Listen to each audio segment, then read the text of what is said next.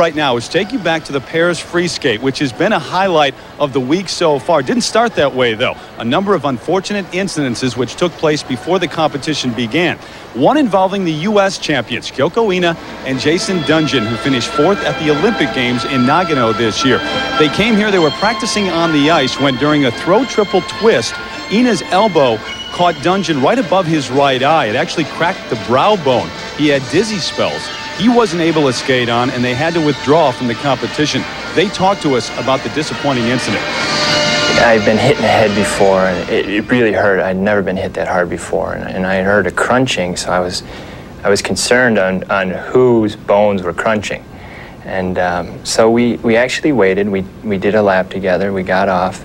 I felt pretty good, and then uh, on my way back to the locker room, the floor started kind of wobbling up and down, and and I started getting nauseous. And by the time I actually went to sit down, I was, I was at the point where um, I was going nowhere on my own.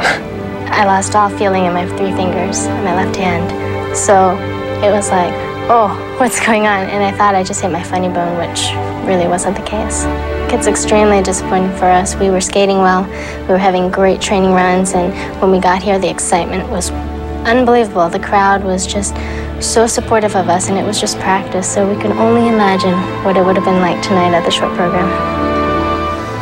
Furthermore, the Olympic champions, Oksana Kazakova and Artur Dmitriev of Russia, were here. They were practicing, but a sushi dinner early in the week didn't agree with Artur Dmitriev. He came down with food poisoning, and they were forced to withdraw. But despite the fact that some of the big names were not able to compete here, it turned out to be a fantastic finish in the pairs free skate. One of the great